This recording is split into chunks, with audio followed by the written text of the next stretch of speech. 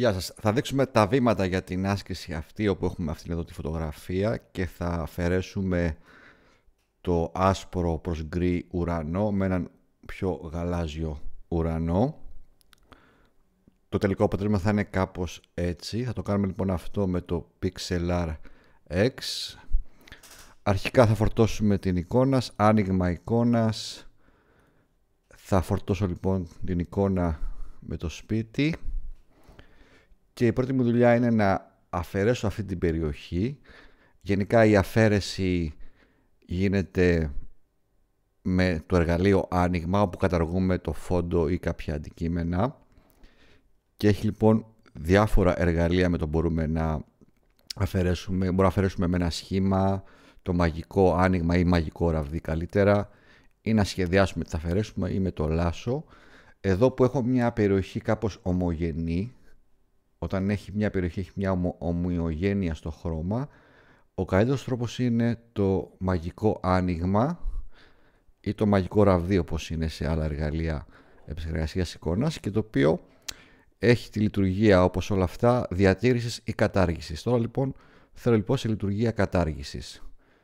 Αν κάνω κλικ κάπου στην περιοχή, αυτόματα με αλγόριθμο θα επιλέξει ομογενείς περιοχής. Αλλά βλέπετε γιατί και το σπίτι είναι άσπρο και έχουμε μεγάλη ανοχή όπως βλέπετε εδώ πέρα, επιλέγει και τμήματα που δεν θέλω. Θα κάνω λοιπόν ανέρεση και θα παίξω λίγο με την ανοχή. Π.χ. με μικρότερη ανοχή βλέπετε πάει καλύτερα. Ε, αν θέλω καλύτερο αποτέλεσμα με τη μία, π.χ. με 12 όπως είναι και στο βίντεο, έχω ένα καλό αποτέλεσμα. Μπορώ να συνεχίσω με την ανοχή, βλέπετε λοιπόν εδώ.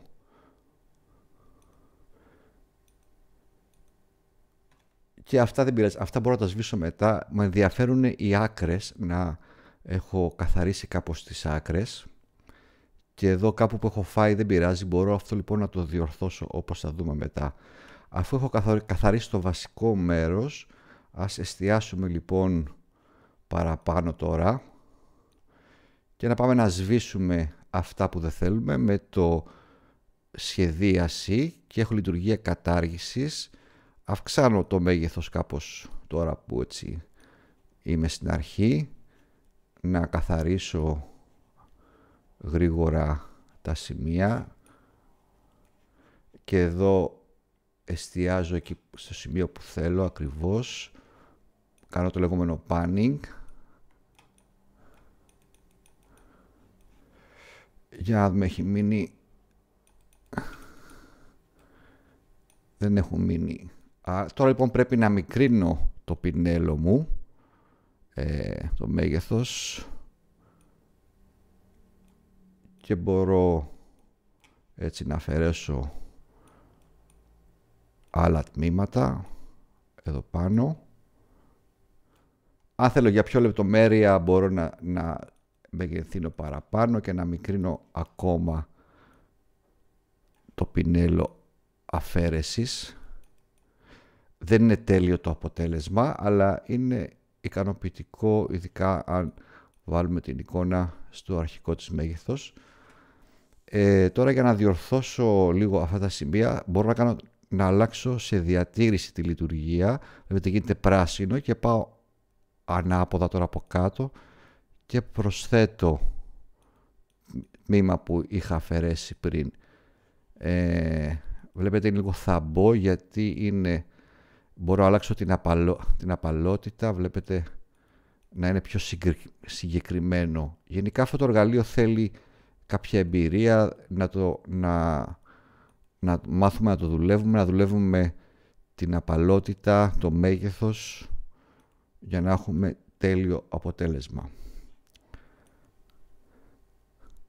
Κάπως ε, καλύτερα τώρα δεν είναι, έχουμε κάποιες εδώ άκρες μπορώ να τις καταργήσω με μια πιο μικρή έτσι πινέλο και μ, κάπως καλύτερα. Ωραία, αφού λοιπόν έχω αφαιρέσει το επί... αυτό που θέλω βλέπετε Το καρό σημαίνει ότι είναι αδιαφανή σε αυτό το σημείο, έχει διαφάνεια, δηλαδή δεν έχει κάτι, είναι κενό τέλος πάντων. Και βλέπουμε εδώ στα επίπεδα, εδώ δεξιά, μπορώ να εμφανιστεί καλύτερα έτσι, ότι έχω μία εικόνα, έχω ένα επίπεδο, ένα layer. Τώρα θα προσθέσω λοιπόν και τη δεύτερη εικόνα, εδώ προσθήκη εικόνας, από αναζήτηση στον υπολογιστή, Blue Sky και εδώ θα πω όχι δημιουργία νέας εικόνας, προσθήκη στην τρέχουσα. Ε, να κρίνω λίγο, βλέπετε έχει προσθεθεί η δεύτερη εικόνα ως δεύτερο επίπεδο, είμαι επιλεγμένο αυτό το επίπεδο. Θέλω όμως να πάει από κάτω ε, για να εμφανιστεί ο ουρανός, να μην επικαλύπτει. Θα το πάω λοιπόν με το βελάκι κάτω, βλέπετε δεν πάει όμως γιατί πάντα το πρώτο επίπεδο που έχω, δηλαδή η εικόνα η αρχική, έχει, είναι κλειδωμένο και το βλέπω εδώ με το κλειδί. Άρα θα ξεκλειδώσω εδώ τις επιλογές, θα το ξεκλειδώσω, το φόντο και μπορώ να πάω το φόντο πάνω ή τον ουρανό κάτω, το ίδιο πράγμα είναι. Άρα λοιπόν τώρα πήγε ουρανός κάτω και πάμε να μετακινήσουμε τώρα τον ουρανό. Βλέπετε όμως μετακινώ άθελά μου το φόντο, άρα ας το κλειδώσω αυτό το φόντο τώρα για να μην το κατά λάθος το μετακινώ και ας επιλέξω το ουρανό, βλέπετε είναι επιλεγμένος. Μπορώ να το μετακινήσω, το βάλω έτσι όπως αρκεί να πιάνει όλο το χώρο Κάπως έτσι είναι καλά, αρκεί να λοιπόν να φαίνεται έτσι ωραία. Άρα έχω λοιπόν βάλει και τον ουρανό και έχω τελειώσει στην ουσία. Μπορώ αν θέλω για να δείξω και κάτι π.χ.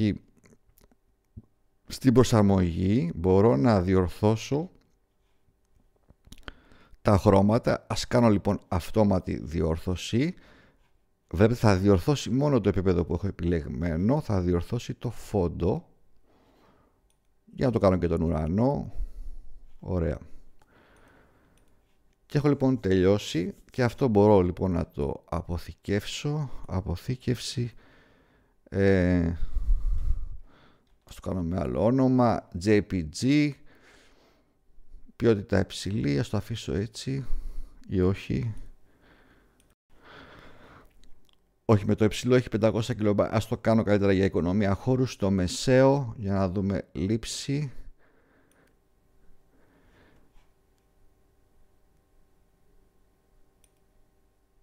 Και να λοιπόν το αποτέλεσμα είναι σε μεγάλη ανάλυση αλλά έχει το μέγεθος ε, 300 KB.